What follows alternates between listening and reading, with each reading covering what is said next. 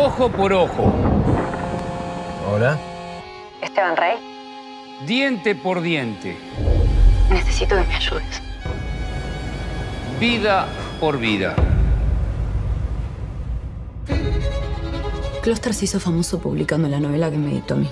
De lo que quiero hablar es de otra cosa que nadie sabe. Closter está matando a tu familia. Uno por uno desde hace más de 10 años. Necesito que escribas mi historia. Y que la publiques. Yo no tengo el poder para escribir lo que sea en el diario, ¿sabes?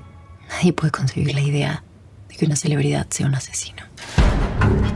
¿Quién hubiera dicho que una chica tan inteligente llegaría a semejante grado de locura? De todos modos no me sorprende, porque siempre fue una manipuladora. De todas maneras, hay algo que sí le juega en su contra.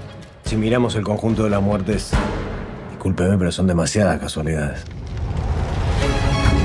A usted le gusta el tema del azar, pero nunca se tomó la molestia de tirar una moneda al aire.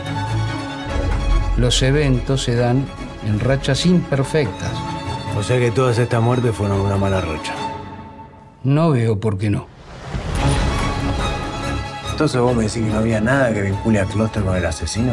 Luciana, la loca de Luciana. Durante años traté de imaginar por qué ella inventa estas historias en mi contra. ¿Y por qué crees que lo hace? Por una de tres razones. Locura, maldad o culpa.